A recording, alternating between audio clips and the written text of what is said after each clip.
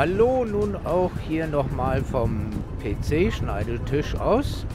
Ja, ich bin hier schon vom Lenneper Bahnhof aus gestartet. Und jetzt muss ich leider einer blöden Umleitung folgen, weil man da rechts, äh, wenn man da lang gefahren wäre, da ist eine Brücke. Und die muss wohl irgendwie ja, saniert werden, neu gemacht werden. Ich weiß es nicht. Ja, und eben da fehlt jetzt wohl der die Spur hier, die, auf die ich jetzt hier wieder auftreffe, aufbiege äh, für, die, für diesen Fahrradweg. Ja, jetzt unterqueren wir hier die äh, Hauptverbindungsstraße mh, hm, zwischen Remscheid-Lennep und die nach Remscheid Zentrum führt. Äh, das ist hier so Trecknasengebiet ähm, für die Einheimischen, die denen was vielleicht das etwas sagt. Ja, dann unterwegs die Kraniche und hier rechts ähm, vielleicht ein ehemaliges Überbleibsel, beziehungsweise ein Überbleibsel aus der ehemaligen Bahnzeit, als hier noch die Bahn fuhr. Ein, vielleicht ein ehemaliger Güterschuppen. Naja, man weiß es nicht. Mich wundert ja eh immer, dass da noch solche äh, Altbestände tatsächlich irgendwie noch äh, vorzufinden sind. Ist ja immer irgendwie doch ein bisschen interessant, so bahnhistorisch. Ja, und hier war ich jetzt gerade in der Unterstellhütte links. Und hier biege ich jetzt gleich ab. Weil geradeaus geht es nach äh, Olpe. Äh, Quatsch, nicht Olpe. Opladen. Hört sich so ähnlich an. Opladen und mh, mm, da, wo ich jetzt lang fahre, wie gesagt, das ist hier die, der Abbiegepunkt gewesen, wo sich die Strecke dann teilt. Hier runter geht es denn jetzt nach Hückeswagen. Und wer denn mag, kann dann natürlich da unten weiterfahren. Ab Hückeswagen ist man dann, befindet man sich dann auf Wupperhöhe. Und äh, ich weiß jetzt nicht ganz genau, ob es ab Hückeswagen oder Wipper führt. Wie der Name schon sagt, von dem Städtchen Wipper führt. Dort heißt die Wupper nämlich spätestens dort, ab dort, Wupper aufwärts, nicht mehr Wupper, sondern eben Wipper. Ja, ich bin hier auch schon am einem interessanten Punkt angekommen, über den ich hier auch schon ein Video gemacht habe. Leider hat man hier den Tunnel abgerissen und ja, ich habe da mal ein Video gemacht, da hätte man so eine schöne Brücke einsetzen können. Oder sowas ähnliches, wie auch immer. Aber nee, da musste man ja dann schnell, ganz schnell wieder die Brücke bzw. den Tunnel abbaggern, damit der Verkehr besser fließt. Ja, darüber gibt es dann auch ein, hm, einen Zeitungsartikel äh, mal sehen, ob ich euch den Link reinstelle. Dafür muss man dann hier 18% runterfahren. Ich hoffe, ihr habt gute Bremsen. Äh, schlimmer noch ist es natürlich, wenn man das in umgekehrter Richtung äh, hier hochfahren will. Äh, also, das ist schon ganz schön heftig. Und vor allen Dingen dann ziemlich blöd hier unten, wenn man hier diese vielbefahrene Landstraße, Bundesstraße, ich weiß jetzt nicht, was es ist, queren muss. Vor allen Dingen nicht sehr kinder-, familienfreundlich. Und jetzt zeige ich euch mal, wie das hier früher ausgesehen hat. Ich bin hier nämlich auch noch mit dem Auto hier gefahren. Das war, wie gesagt, dieser Tunnel. Und das war so ein bisschen nur für eine Verkehrsrichtung mit Vorfahrt. Also es war ein bisschen eng, aber okay. Man hätte ja da vielleicht, wenn man eh schon die Schneise hat man da abgebaggert. Ich habe mir da den alten Zeitungsartikel angeschaut und äh, ja, da hätte man zwei Betonbrückenlager äh, neu machen können und das Ganze etwas breiter. Aber gut. Ja, hier n, hat mich denn ein Bio-Biker überholt. Ein Zwinker, Zwinker. Äh, und hier geht es dann in den Tunnel, der auf der Strecke ist. Der ist auch nicht gerade sehr kurz. Hier links sind die Fledermausschutzwände äh, oder der Raum, der geschaffen worden ist für die Fledermäuse. Und hier rechts ist ziemlich viel abgeholzt worden. Äh, ja, ihr seht ja, die Frage, die ich eingeblendet habe, ob das immer so sein muss, naja. Ja, und hier zur Linken ist dann auch schon mh, hm, der Blick nicht gerade unbedingt frei durch das Gestrüpp hier auf die Wuppertalsperre. Die ist, wie gesagt, sehr lang und sehr länglich gezogen und erstreckt sich dann quasi von Hökeswagen ja, hier dann noch ein Hund auf der, mitten auf der Radwegstrasse. Ja, ich bin ja Hundefreund und deswegen fahre ich da auch entsprechend langsam. Ja, wie gesagt, Hückeswagen, ich komme. Hallo, hallo. Und äh, ja, ich spule jetzt mal ein bisschen schneller vor. Äh, das ist nämlich der Kreisverkehr und ja, und hier, wo es dann zum Aldi geht, eine kleine Gedenkstätte hier an die ehemalige Bahntrasse. Und dann geht es hier auch jetzt in die niedliche Innenstadt hier von Höckeswagen. Hier die Einkaufszone, Einkaufsmeile äh, oder wie man das auch immer bezeichnen möchte. Ja, ihr seht, ich bin jetzt hier da schon durchgeradelt. Hier links noch ein Restaurant, wo man sich dann was zu essen, wenn man da ist im Sommer, sitzt, sind da auch Stühlchen draußen, da kann man auch draußen, also Außengastro. Und das hier ist jetzt also die Fußgängerzone. Was ich schön finde, ist eben auch hier dieses alte Pflaster, was da noch vorhanden ist. Das finde ich sehr schön. Ich wollte also mal hoch hier zu dem Schloss und ihr seht auch so viele schöne Schieferhäuschen, die so typisch sind für das Bergische. Und hier links ein Kirchlein, die Pauluskirche von Hückeswagen und dann kommen wir hier zum Schloss von Hückeswagen. Ja, das ist der Blick hier Richtung Hückeswagen Zentrum. Ladesäule gibt es hier tatsächlich auch, also für die Bedienstete im weil hier ist nämlich äh, eigentlich auch der Ratssitz. Also ich, hier ist, glaube ich, auch Verwaltung äh, der Stadt Hückeswagen und der Sitz vom Bürgermeister. Ja, man hat so gehört in den Medien, also hier so im westdeutschen Fernsehen, dass da wohl auch irgendwas gemacht oder geplant werden soll für zugänglich, bla bla, Kaffee etc. Ich weiß nicht, was die da vorhaben. Ja, hier durch, wieder durch die Fußgängerzone bin ich dann wieder runter und hier zu dem schönen Kaffee. Da wollte ich dann mir einen leckeren Kaffee trinken. Das habe ich dann auch hier gemacht.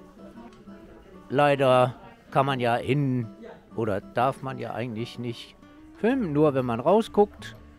Ja, und ich, ihr seht, ich habe mir hier einen schönen Marzipan ähm, Kuchen gegönnt mit leckeren Kaffee. War sehr lecker. Kann ich euch wärmstens empfehlen, dort dann mal ein Päuschen zu machen. Ja, das war die Landbäckerei Bauer. Und hier gibt es tatsächlich, da war noch ein Lego-Fachladen. Äh, wollte ich hier auch noch mal drin lassen. Jetzt bin ich hier wieder auf dem Rückweg durch die kleine Einkaufszone von Hückeswagen. Ich spule das jetzt mal ein bisschen schneller vor und jetzt bin ich hier auch schon am Einlauf der Wuppertalsperre. Die beginnt also, wie gesagt, hier direkt quasi... Also ich würde das jetzt hier so mal bezeichnen, dass das ab hier so beginnt. Und ja, eigentlich hat man die, die Wupper hier aufgestaut, der Länge nach, so wie sie fließt. Da gibt es dann eben auch einige Vorsperren. Also das ist so ein bisschen, als wenn die Wupper zu einem breiten, mh, hm, ja, fast schon wieder rein breit ist.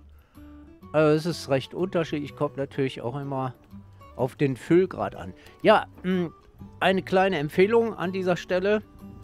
Ihr seht, das ist hier sehr eng. Radfahrer sollten da Rücksicht nehmen. Am besten fahrt ihr über diese blaue Brücke, die, die ich kurz vorher eingeblendet hatte, rüber und fahrt auf der anderen Seite lang. Da ist der Weg viel breiter. Jetzt ist es relativ entspannt hier. Äh, ihr seht ja, ich kann hier lang fahren, längere Stücke, beziehungsweise fast ganz durch. Und eben nichts los. Äh, das wird sich allerdings natürlich dann schon noch ändern. Äh, ja, so wie der Frühling und wärmere, etwas wärmere Temperaturen sind, ist das natürlich dann wieder vorbei. Ja, wie gesagt, die Wuppertalsperre ist sehr lang, hat aber auch ein, ist wohl die größte hier, kann man sagen, im Bergischen Land, auch vom Fassungsvermögen, würde ich sagen. Ja, hier geht es jetzt übrigens ein Stückchen kurz steil bergauf. Äh, ja, ich bin gerade mal dabei, äh, die Länge mal für euch... Also sie ist sehr länglich. Ist also keine äh, Talsperre, die großartig in die Breite geht. Und hat eigentlich ja, auch ein paar äh, Seitenarme. Das sind dann die, die Bächlein, die Täler, die da so in den Tälern, die Bäche, die da runterkommen und dann eben dort hineinfließen. Ja, hier ist jetzt quasi äh, ein Wehr oder man könnte sagen eine Trennung von Vorsperre und dann nächst tiefer gelegener äh, Staustufe oder wie man das nennt, keine Ahnung.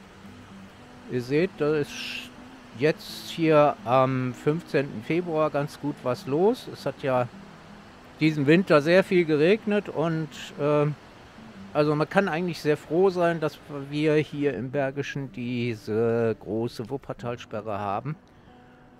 Äh, trotzdem auch natürlich da in Wuppertal-Beinburg, weil äh, kurz hinter dem Haupt Stau, hinter der Hauptstaumauer.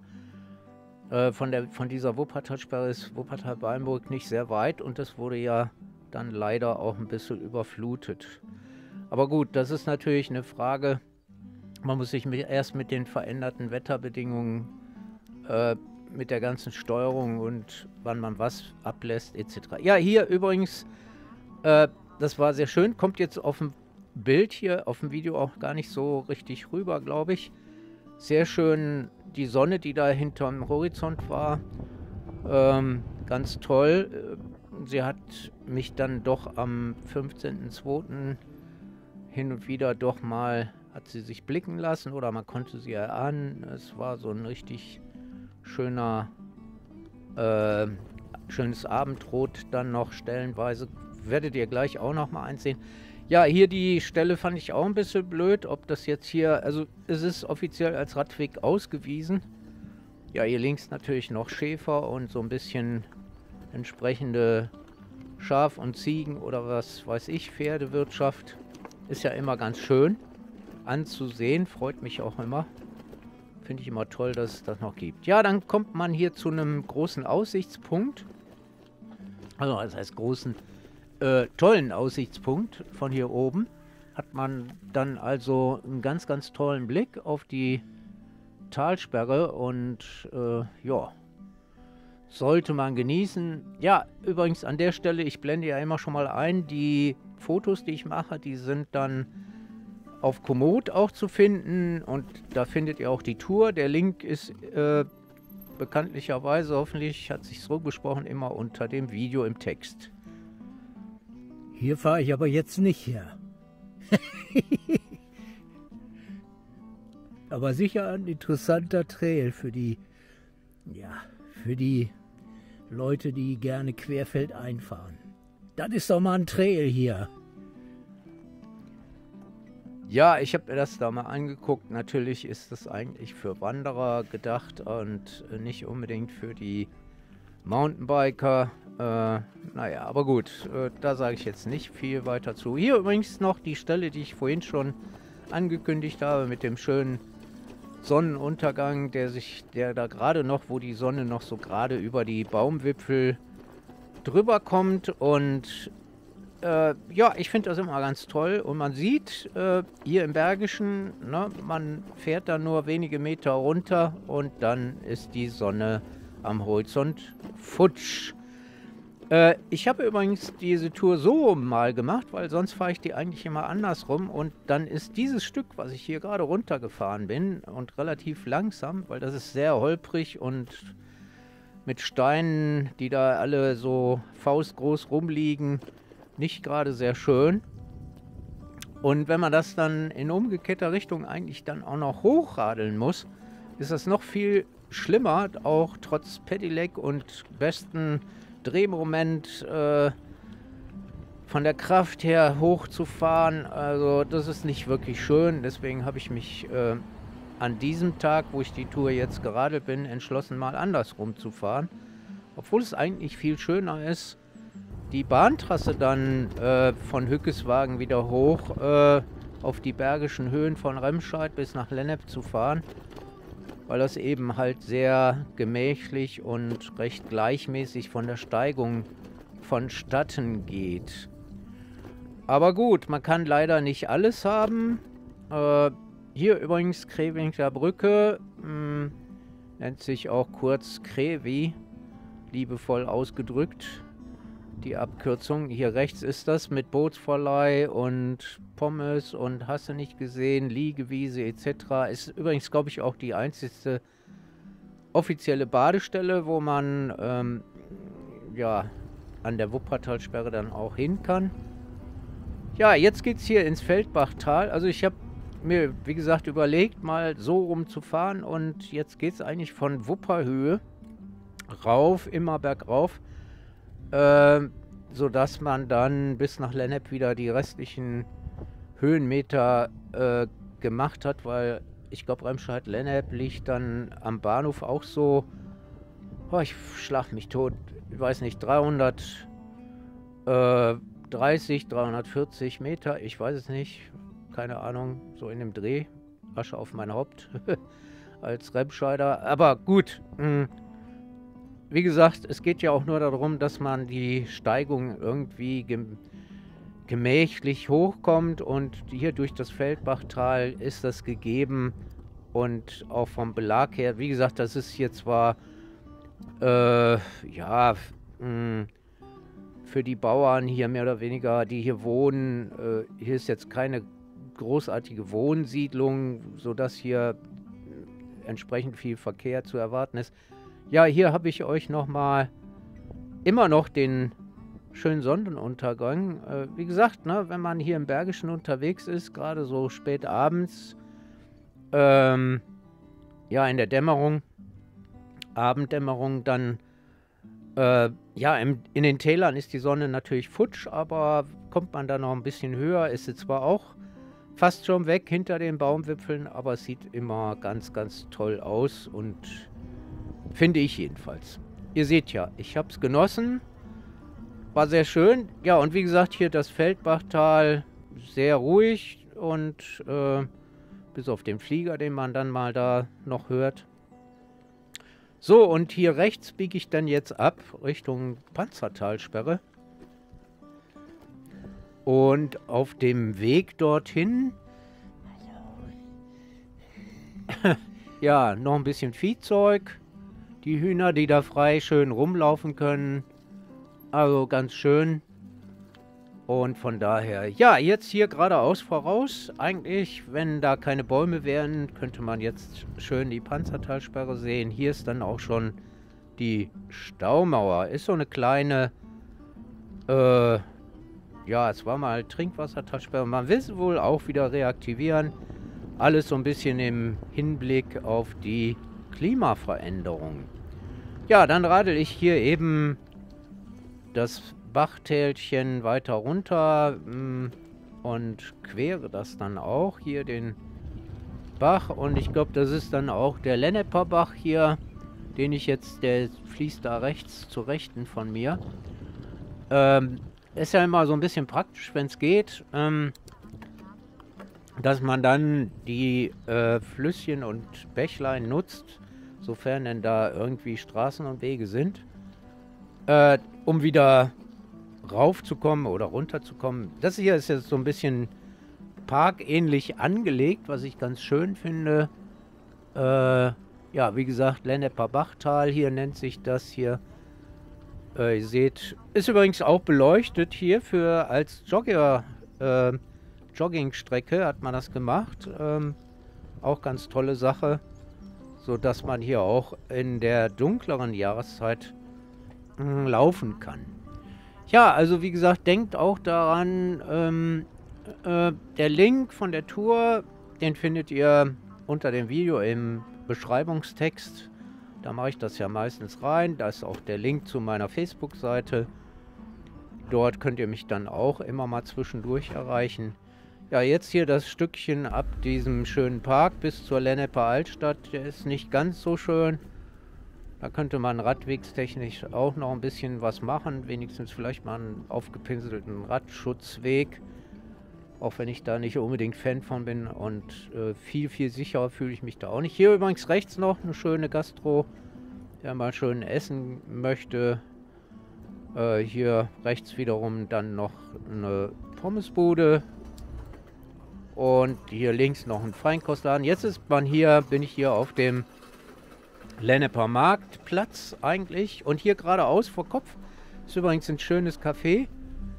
Äh, ihr seht, das ist so ein bisschen eine kleine Erhebung und da ist dann sitzt, kann man schön draußen sitzen und hier allerdings auch. Und da habe ich dann auch schon gerne mal einen Kaffee und Kuchen genossen. Ja, ich radele hier, wie gesagt, immer ganz gerne durch die Altstadt, um wieder zum Lenneper Bahnhof, wo mein Ausgangspunkt ist, der wie gesagt auch gut zu erreichen ist und natürlich mit dem Zug, mit dem sogenannten Münchstener, äh, von wo man aus die Strecke dann starten kann. Ja, hier links jetzt eine Skulptur von Tony Craig und ich frage mich immer, was das Ding darstellen soll. Okay, gut, hm, wahrscheinlich bin ich Kunstbanause, aber irgendwie finde ich, passt das Ding hier so gar nicht hin. Aber gut, über Geschmack lässt sich streiten. So, ich bin jetzt hier auch wieder am Lennerper Bahnhof. Hier nochmal der Aufzug. Man kann dann da auch runter und auf der anderen Seite wieder hoch. Ich hoffe, das kurze Homezone Video von mir in meiner Homezone Bereich sozusagen, meiner Stadt, Wohnstadt Remscheid, hat euch gefallen. Und ja, ich sag winke, winke, macht's gut. Bis zum nächsten Mal und tschüss.